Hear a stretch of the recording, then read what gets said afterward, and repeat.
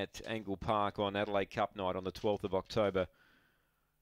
So uh, they're just about ready. In fact, green lights on. Late move Rico Riquetta, 280 on the fix. They're set. Ready now, racing. Rico Riquetta began well. Bellaviden's got more speed. Rico Riquetta is over to second, though. Uh, Fantastic Chief gets the rail third. Now they go to the back. Bellaviden being tackled now by Fantastic Chief, who takes the lead.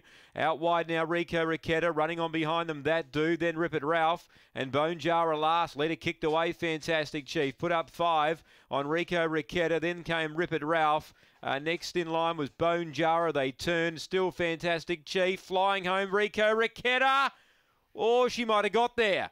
Rico Riquetta from Fantastic Chief, perhaps. Rip It Ralph third. Fourth might be Bone Jarrah. Then Bellaviden. And that dude last in. Closest finished all night. Number eight gets it. Eight gets it. Rico Riquetta. She's picked up the leader right on the peg. Eight the winner.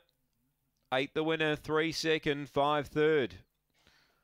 It's eight, three, five, and six. Eight the winner, Rico Riquetta. She's got there by a head in the end. She was powering home along the inside. And she's picked up Fantastic Chief, who had a three or four length lead turning the bend, but got tired. And uh, Rico Riquetta has charged home along the rail and has got her head down where it's counted. Eight the winner, three second Fantastic Chief. And five, Rip It Ralph gets third. Six, Bone Jarrah runs four. 324 the split. 16 14 off the back. 1507 on the way home. Uh, 31 21 is the time. The eight gets there in the nick of time. It's 8 3 5 and 6 after race seven, the Country Cup uh, Series, one of the heats. And uh, the winner is number eight, Rico Riquetta.